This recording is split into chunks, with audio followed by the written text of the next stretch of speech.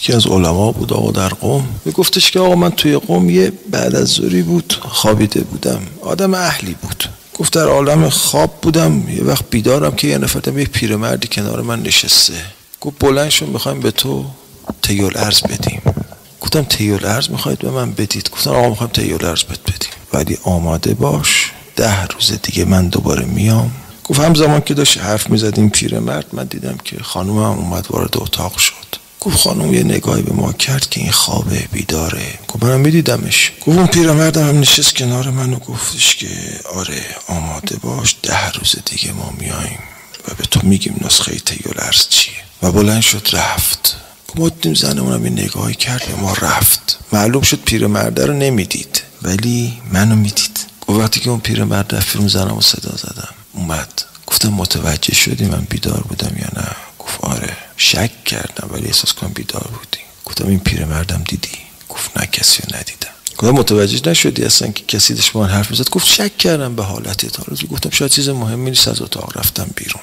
گفت ما هم ماجرا رو فراموش کردیم. گفتم حالا هر چی بود گذشت. یا ما خواب نما شدیم یا چه می‌دونم واقعی بود یا هر چی که بود ده روز از این ماجرا گذشت. گفت روز دهم دوباره به پیرمرد. ما دیدیم کنارمون نشسته.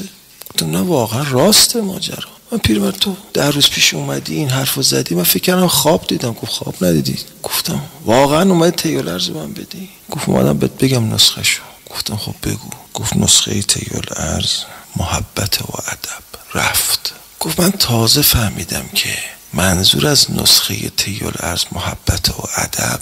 می‌خوام نسخه تیول ارز بهت بدم. چون تیول ارز واقعا نسخه که نداره که آدم یه چیزی بخونه تیول ارز پیدا کنه.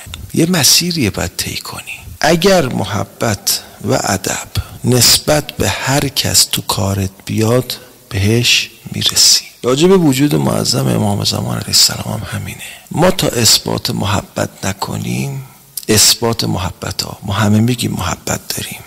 به گفتن نیست به عمله. همه میگن شما رو دوست دارن. سر مشکلات بهش زنگ بزن. نه اگه مشکلتن فهمید بازم مثل قبل با تا می‌کنه یا نه.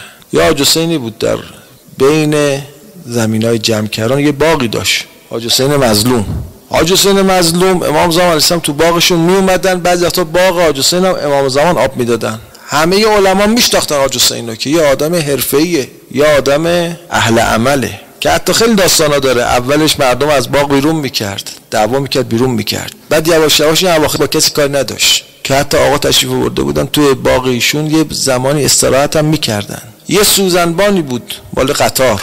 این اطراف قوم بود. آدم اهلی بود. اومد حاج حسین دید. گفت آیا حاج حسین آقا همه علمای قوم می‌دونن شما با امام زمان ارتباط دارید. یه سوال ما بگیم بپرس از آقا. گفت بگو. گفت به آقا بفرمایید من می‌دونم طبق روایت شما شهری دارید که یارانتون اونجا زندگی می‌کنن. همه با زن و بچه. همه اونجا.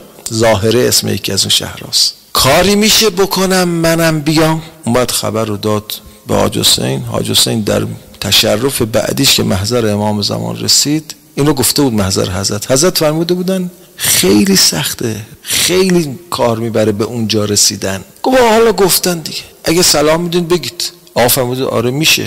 ولی به شرط اینکه شروط رو فرموده بودن. شروط گویا خیلی سختی هم بوده. این درسته این درسته این درسته این درسته که همه هم می‌دونن. معمولا اول اینا لغمه است. تا لغمه درست نشه الکی ها یعنی کسی دنبال چیزی هم نگرده.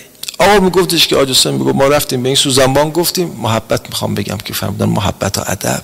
گفت اتفاقا این سوزنبان همه رو انجام داد و رفت. محبت کی به معلوم میشه؟ اون وقتی که کار کنی. تو عمل بیاد. ولی همه میگن یبن الحسن یبن الحسن. به درد نمی‌خوره. به درد نمی‌خوره. اینی که شما خونه هر کس که دعوت کرد شام پا شدی رفتی هنر نیست. بیشام هم میری. در خونشو بزنی. تو سرما تو گرما در خونشو بزنی. در رو کردی حالت خوبه؟ حالا حالتو بپرسم. این محبته. این محبت اگر با ادب قاطی تعریف ادب چی بود؟ آدم پاش از حدود خودش فراتر نذاره. هر کسی حدودی داره. هر کسی یه تعریفی داره. یه بچه شما حساب بکن مثل آدم بزرگ تا کنه وارد مجلس که شد توقع داشته باشه همه جلو پاش بلند این این داره بیادبی می‌کنه. چرا؟ چرا از حدود خودش رفته بیرون. کما اینکه یه مرد کامل وارد مجلس بشه مثل یه بچه رفتار کنه. این بیادبیه. چرا؟ از حدود خودش رفته بیرون. از حد خودت بزنی بیرون بیادبیه. خب حد من چی الان؟ من راجع به امام زمانم چه حدی باید رعایت بکنم؟ این خیلی مهمه. آخه شما هر جا میشینی میگه امام زمان پدر ماست. هر جا میشینی میگه امام زمان الان عین الله ناظره. دارن آقا ما رو می‌بینن. خب این کارو چی می‌کنیم؟ این تعریفی که ما داریم می‌کنیم خلافش داریم عمل می‌کنیم. ادب و محبت هر جا که جمع شد اون تیل ارز دست میده. حالا نظرت اینه که با امام زمان فاصله مکانی داری تیل ارز مکانی. فاصله قلبی داری تیل ارز قلبی.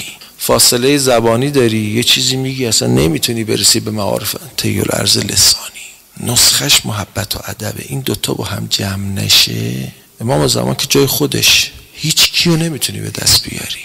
با این دوتا فقط آدما به دست میان. مرحوم صاحب مکیال در مکرمت پنجاه و نهم فرمودن سواب و نصیحت المؤمن. کسی که زیاد برای وجود مقدس بقیت الله دعا می کند ثواب نصیحت مؤمن که روایات متعدد داره یعنی خیرخواهی برای مؤمن رو در حد اعلا می‌برد. اولیشون می‌فهمن چند تا روایت مقدمتا عرض کنیم. یجب للمؤمن علی المؤمن النصیحت له فی المشهد و واجب است که مؤمن نسبت به برادر مؤمنش خیرخواهی کنه چه در حضور او و چه در غیاب او. اگه می‌تواند به داد یک کسی برسه کمکی بده مشکل او را حل کنه. مهمترین امر میفرماید ارشاد کنه او رو به دین. ابدیت او رو تأمین کند. یجب للمؤمن علی المؤمن النصیحه بعد روایت رو از نبی اکرم صلی الله علیه و آله از قول آقا حضرت صادق سلام الله علیه آوردن ان اعظم الناس منزلتا عند الله یوم القیامه. بالاترین منزلت و بالاترین مقام برای کسی است که امشاهم فی ارزهی به نصیحت لخلقه. اون کسی است که برای خیرخواهی و رفع گرفتاری مردم بیشتر روی زمین حرکت می‌کنه. یعنی میدوه برای رفع گرفتاری مؤمنین و خدمت به اونها و همون خیرخواهی و کمک به اونها. علیکم به نصح لله فی خلقه. فلن تلقاه به عمل افضل منه. بر شما باد به داد دیگران رسیدن خیر دیگران رو خواستن که در قیامت عملی رو ملاقات نمی کنید برای خودتون بهتر از این. یعنی بالاترین توشه قیامت چنین امری است.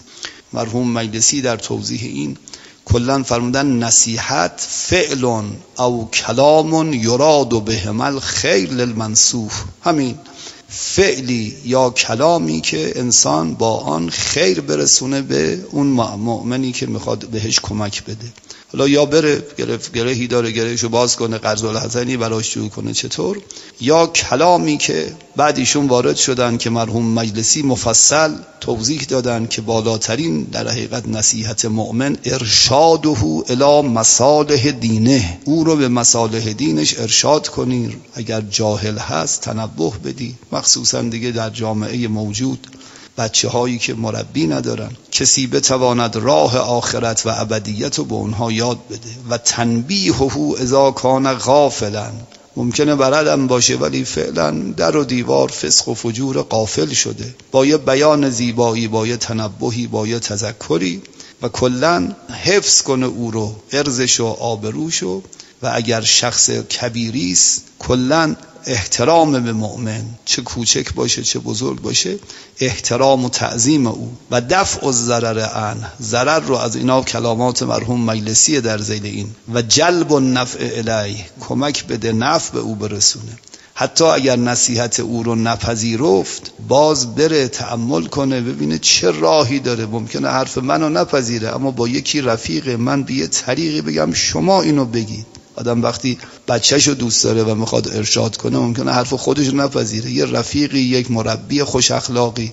بالاخره قاعده خدا اینه که والذین جاهدوا فینا لنهدینهم سبلنا. اگه کسی بنا بگذاره قدم رو خدا کمک میده و بالاخره این به اون نتیجه مطلوب می‌رسد. ایشون میفهم من کل کلام مجلسی رو نقل کردم چون مهمه در این قسمت. که باید به هر صورتی شده برای مؤمنین دیگر انسان خیرخواهی کنه که این بالاترین توشه خودشه در قیامت. هر روز میگیم شاید مکرر که آقا حضرت امیر فرمودن من برای کسی قدمی ور نداشتم ان احسنتم احسنتم لانفسکم. این مقدمه رو که ایشون تعریف میفرمایند که کلا خیرخواهی برای مؤمنین و دفع ضرر از اونها و نفع به اونها رسوندن از بالاترین توشه های قیامته.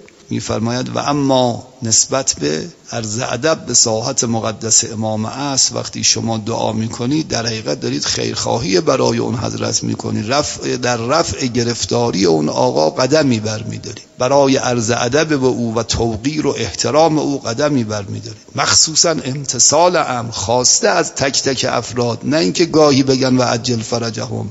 فراوان دعا کنن یک سال گفتیم یعنی روزی دیویست دفعه روزی پون تا می‌تواند در همه نمازها در همه تعقیبها مکرر عرض شد. ایشون من فلعن الامام افضل المؤمنین و دعا فی حقه نصیحت له.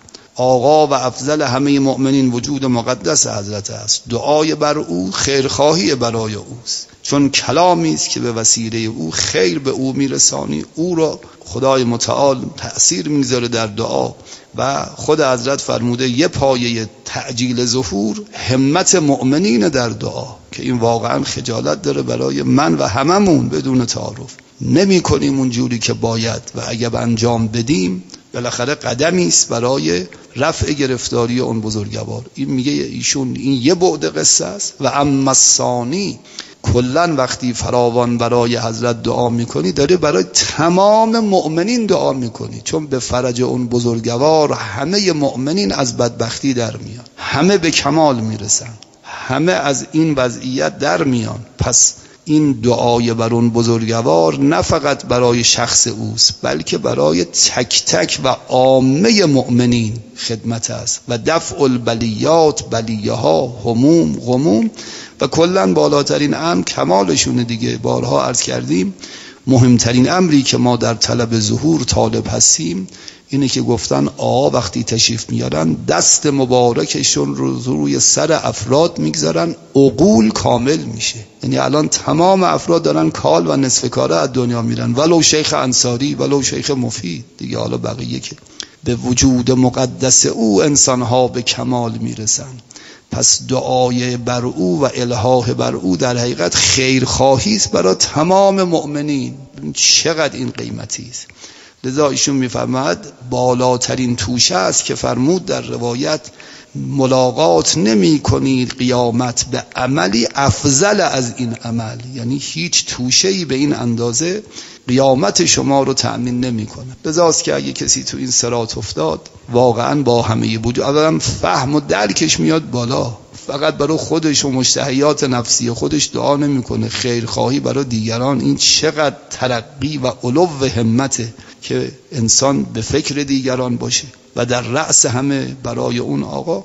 از این یکی از اون مواردی است که اون بزرگوار بیان فرموده ثواب و نصیحت المؤمن خیرخواهی مؤمن که چقدر امر ارزنده و پرثوابی است در این دعا نهفته است. خدای متعال به همه ما سعادت عرض ادب بیشتر و دعای مخلصانه و با سوز بیشتر کرامت بفرماید. و آنی و لحظه ما را از دربار کرم حضرتش دور مدارد.